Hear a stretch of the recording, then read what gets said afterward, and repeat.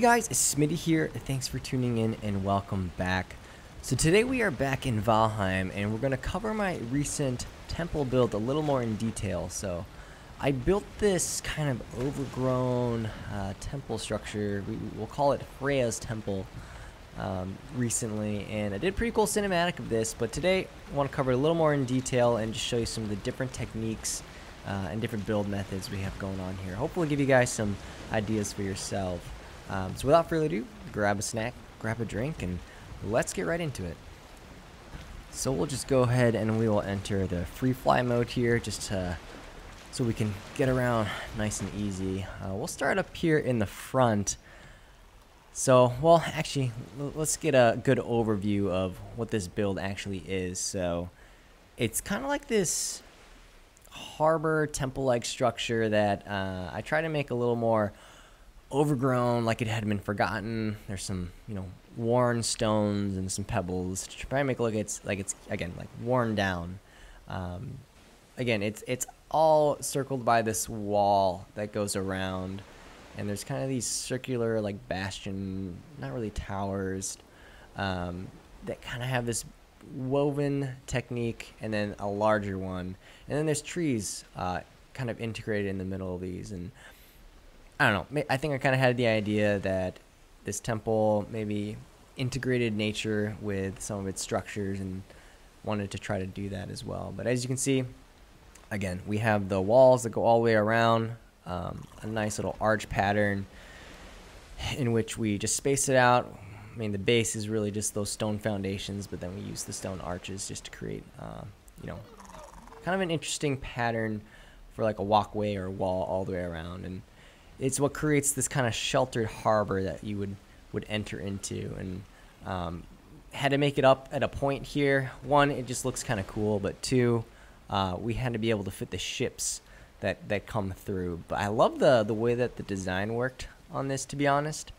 It's um i like having this big design on the front. I think it's kind of bold and um, it's just a good centerpiece for an entrance. And to be honest i love the way that the double the double arches here I love that geometry that that creates, but just had to do some uh, fiddling around. Also had to use the uh, the wood iron beams just to brace some of this higher stone structures because it is pretty deep when uh, you know building from the ocean. So I I did have to raise up the the water level here. If we go down, take a look, um, just because I wanted it one as high as I could go, so I wouldn't have to build up the stone super high because these don't have super high um, stability, at least not without the stone braces. So wanted definitely wanted to do that and just kind of build it, build it up. Um, and, and as also another reason is so I do have like as you can see like these kind of like golden spruces that are placed at the middle of all these kind of like bastion like tower areas. But also, these trees actually sink down past anything you build into like the highest part of the where the ground is. So, for instance, this one, even though I spawned it in, it fell all the way down. I wouldn't, I couldn't, I couldn't prop it up anyway. So that one's a little janky, but I definitely had to keep the pattern going here. But as you can see, so for these, I didn't actually use like the cross beam piece to, to create this pattern. What it actually is, is it's the single diagonal beam, but there's actually two layers that are going in two different directions. And that's what gives us the kind of the basket weaving look here. And it's something that we repeated over here at a much larger scale um, at the, in the main building here. But as we come into the actual harbor, it's just kind of this stone approach. I love the look of having this big landing area with a lot of different, uh, you know, stone stairs going up. Um, it's almost like something you would see in like, like maybe like Rome or something like that. So definitely love the way that looks. I love how, you know, I, again, I wanted to make this thing seem like, again, like a forgotten temple. Like it was you know, you can still see that it was, it's grand and it's beautiful, but you know, we have no one's really been here for a long time, and it hasn't been taken care of. So as you can see, we have the crumbling stone, we have you know some pillars and stone in the water. maybe it's kind of crumbled away and fell in. And then we also spawned in um, some vines, which I figured figured out you can actually spawn in. Unfortunately, these vines only spawn in in one direction, and I cannot figure out how how these how to actually turn these, or even if you can. Um, so just kind of had to be a little strategic about it, about where I was going to place these, um, just to make sure it looks organic and real. And you know, I don't think you really notice that it's all in the same direction. Um, typically, I feel like in real life, vines will only grow on one side anyway because it's probably close to where the sun is. So I guess it, it might make sense in that way. Um, yeah, and then we just have a kind of chain of arches here, which I just thought made for a really interesting entrance. Um, just a grand entrance, to be honest. You know, you, you flow in here on the boat, and I think it just looks so nice with the vines and the stone. And uh, the vines also serve as a nice little breakup from all the stone. Like so initially when I built it, it was basically all stone. We didn't have any of the wood or the vines, and it just it seemed a little too much, and we needed a little bit more diversification on materials and colors and things like that. But love the vines, love the green of the banners too. I think the green just made sense because we were eh, kind of in like a forest. It's it's a temple that's you know, integrates and implements trees and different parts of nature with it. So.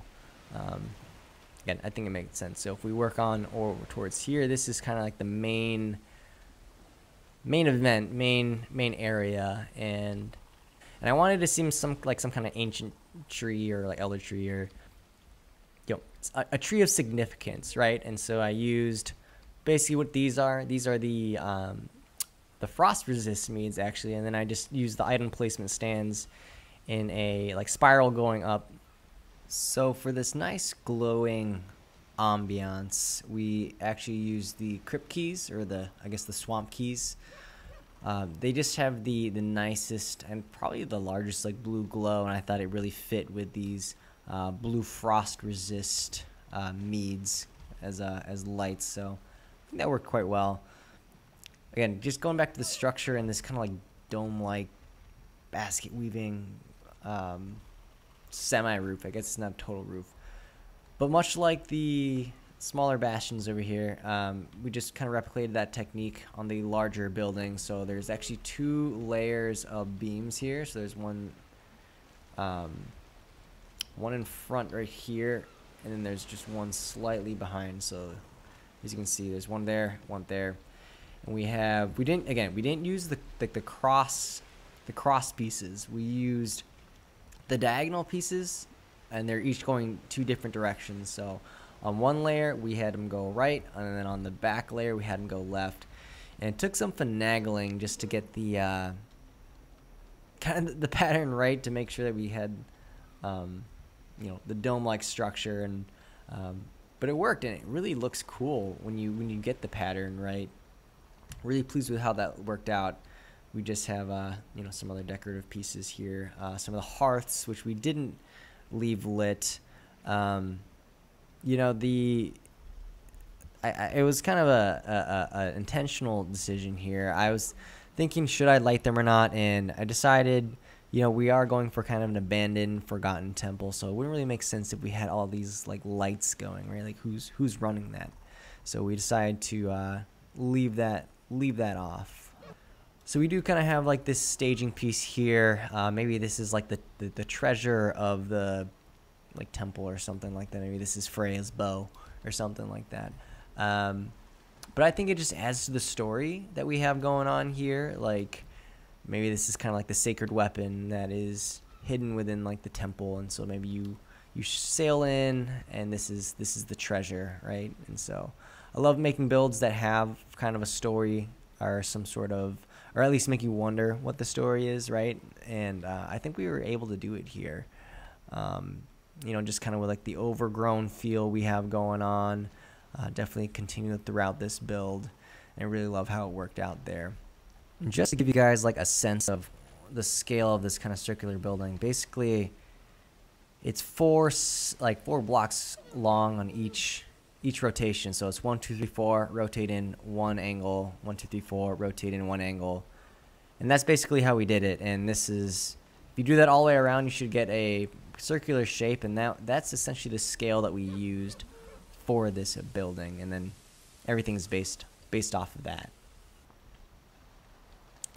But there you guys have it. So we used some, you know, different techniques.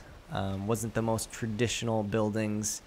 Um, experimented with some different weaving.